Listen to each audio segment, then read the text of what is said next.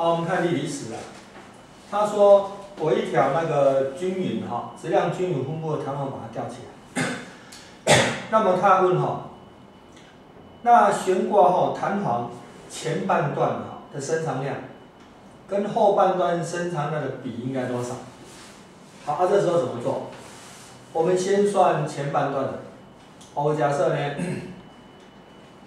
哦这个弹力长度都是 k 啊。哦，这个弹力长度是 k，哦，因为它一半嘛，那两条弹力长，两条弹簧是一样的，它弹力长度 k，它弹力长度是 k，好，啊这个假设呢叫做 T one，好，啊这个假设叫 T two，好，啊我们就运用那个公式啊，德塔呢 s1 等于多少？就等于那个二 k 哈，分之 t1 呢加上 T two。但是呢，T one 等于多少？假设呢，这两个质量都是 m。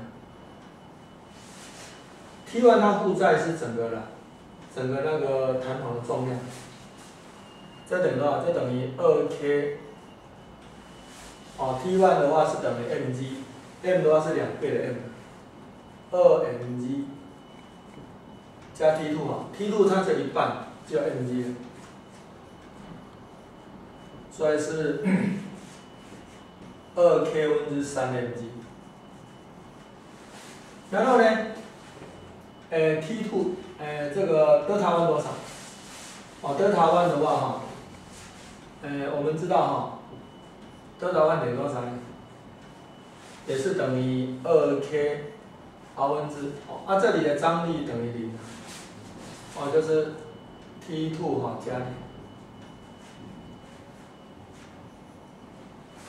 那梯度负载是那个 mg，mg，啊，那就是可以比的，啊，这是 x two，所以呢，德塔 S one 哈，以上德塔 S two，就等于多少？三比一。